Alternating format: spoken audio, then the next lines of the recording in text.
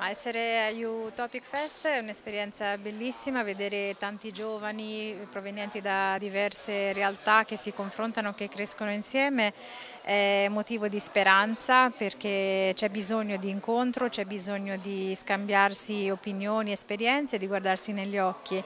Eh, nel mio intervento ho cercato di raccontare come il giornalismo possa contribuire a raccontare la complessità eh, senza mai negarla, cercando il più possibile possibile di eh, avvicinarsi a quella che era verità dei fatti eh, senza faziosità ma cercando appunto di dare la giusta dignità alle persone di cui si racconta e creando anche un'empatia perché eh, appunto non, non, si sfugga dalle situazioni che sembrano troppo complicate per essere capite eh, ma ci si avvicini con rispetto ed empatia alle persone che in quel momento sono in sofferenza a causa di conflitti.